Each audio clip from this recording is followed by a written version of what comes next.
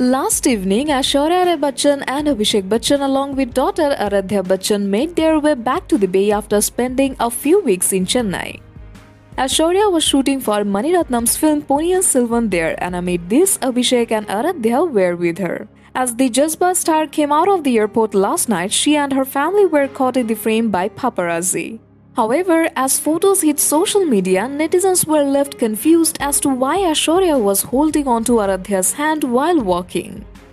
In the video from the airport, we can see Aishwarya holding Aaradhya's hand while Abhishek is seen walking behind them. The Fanney Khan star seemed to be taking care of her daughter amid the paparazzi frenzy. However, netizens noticed how Aishwarya was holding onto Aaradhya and wondered why. Many comments on social media by users quizzed this star as to why she was clutching onto her young daughter's hand.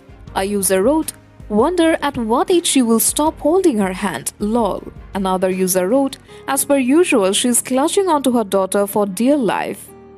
In the video, Aishwarya was seen clad in a striped kurta with a black coat, while Aaradhya was seen opting for a sweatshirt with jeans. Abhishek kept it casual in a hoodie and pants. The trio kept their masks on.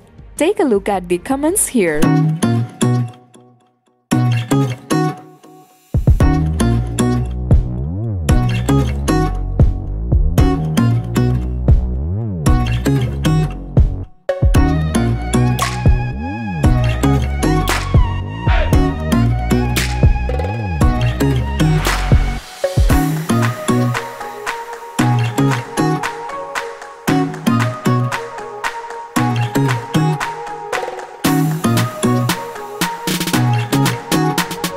Meanwhile, on the work front, Aishwarya was last seen in Fanney Khan back in 2018 on the big screen.